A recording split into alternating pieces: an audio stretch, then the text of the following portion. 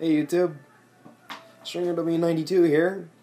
Thought I'd make another sort of video to welcome in the new year and say if you got any questions you'd like me to answer, like anything just random question, provided there's nothing about uh, swallows and airspeed velocities. Thank you very much. I am not the keeper of the Bridge of Death over the Gorge of Eternal Peril.